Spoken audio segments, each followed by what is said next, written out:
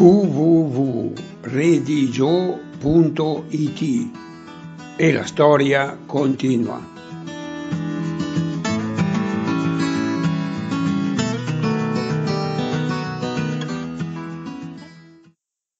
Alcune costumanze speciali nella regione della Lombardia.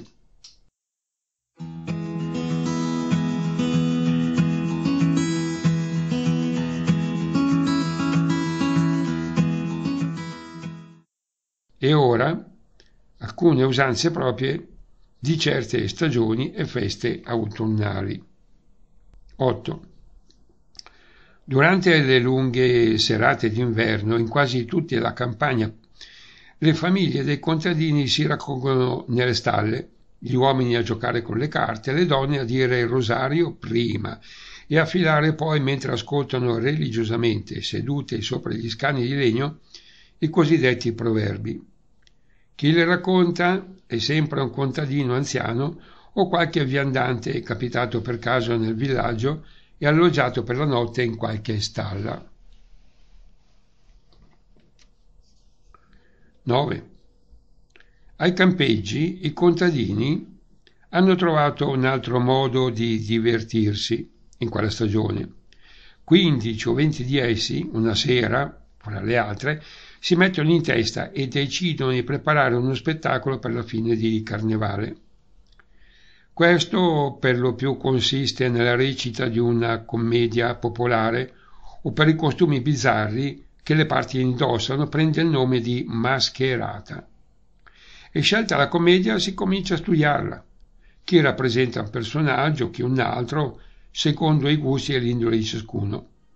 Ma il lavoro di preparazione è lungo perché quei contadini impiegano molto tempo ad imparare ciò che devono dire durante l'azione.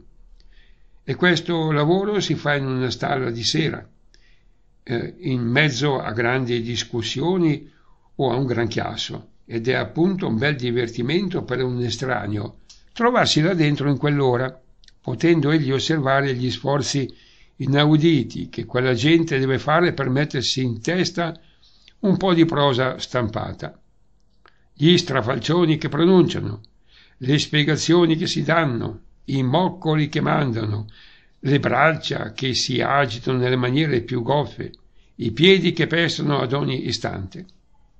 E dopo una quindicina di giorni di studio, i rustici comici cominciano le prove, che durano perlomeno un mese. Anche allora c'è da divertirsi un mondo a vederli lavorare insieme Finalmente si va in scena, ma non innanzi al pubblico del proprio paese. Prima tentano quello di qualche paesello vicino, dove in generale si fanno ammirare. Poi ritornano al paese, trasformano un cortile spazioso in un teatro di campagna e fanno tutti i preparati necessari per il buon andamento dello spettacolo, che deve aver luogo la sera del sabato grasso. Quella sera tutto il paese è in teatro. Lo spettacolo incomincia, procede e finisce fra il riso e gli applausi del pubblico soddisfatto. Ma la festa non finisce lì. Dopo la recita c'è sempre un banchetto e un ballo popolare che si prolunga per tutta la notte. In quasi tutti i paesi, l'ultima sera di carnevale si vuole eh, rivestire di paglia un palo che si pianta in mezzo a una piazza e gli si dà fuoco. La gente intorno contempla e canta l'addio al carnevale che muore, finché il fuoco non sia cessato del tutto. In un paese vicino si formano dei grossi covoni di paglia che poi si legano intorno a parecchi pali. La notte è buia. Si applica il fuoco ai covoni e mentre questi ardono tutti insieme, pare che il paese sia in preda alle fiamme. In un paese vicino, sul palo, si suol mettere prima dell'incendio anche un piccolo animale, che per lo più è un gatto. Allora, e altrove, questa usanza si trasporta al primo giorno di Quaresima, ma allora l'uomo che pianta il palo in piazza e che è vestito in modo ridicolo, mette sull'estremità superiore di essa un pesce per indicare il principio dell'astinenza quaresimale. 11. Il 15 marzo c'è un grande concorso di gente nel santuario di un paese dove si vanno a comprare i cosiddetti filsoni, che sono corone di castagne secche alternate con mele o arance. 12. In un altro paese, la sera di tutti i giovedì di marzo, i ragazzi sogliono correre da una via all'altra in una grande moltitudine e schiamazzando e battendo arnesi di latta, di ferro o di altro metallo per ricordare la fuga delle streghe che un tempo abitavano in quel paese. 13. Il giorno di San Giorgio gli abitanti di Pavia vanno a bere il latte in campagna.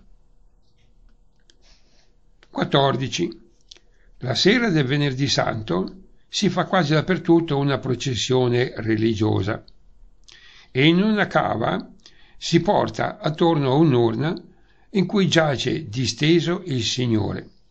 Sulle finestre delle case si osservano dei piccoli altari con immagini sacre e ceri accesi, oppure candidi lini e palloncini di carta a vari colori. La via percorsa dalla processione è coperta di tappeti, ma su questi debbono passare soltanto i sacerdoti e gli otto portatori dell'urna. In un paese vicino si preparano per la circostanza archi di trionfo illuminati e si nascondono con tappeti e tendoni i luoghi pubblici meno decenti e si improvvisano due chiesuole in legno ai due estremi del paese. Esse sono come l'emanazione dei due partiti opposti, che si mettono in gara fra di loro, che si mettono in gara fra di loro per offrire all'occhio della gente lo spettacolo più bello. Anche i prospetti delle case durante il passaggio della processione sono pieni di lumi ad olio. In un altro paese, in particolare più notevole di questa processione, è che un membro della confraternita di San Bernardino, vestito di bianco con sulle spalle una grossa croce di legno, beh, vuota, viene tirato per mezzo di una corda da un altro confratello, vestito anch'egli di bianco, ad imitazione di una delle principali scene della passione di Cristo.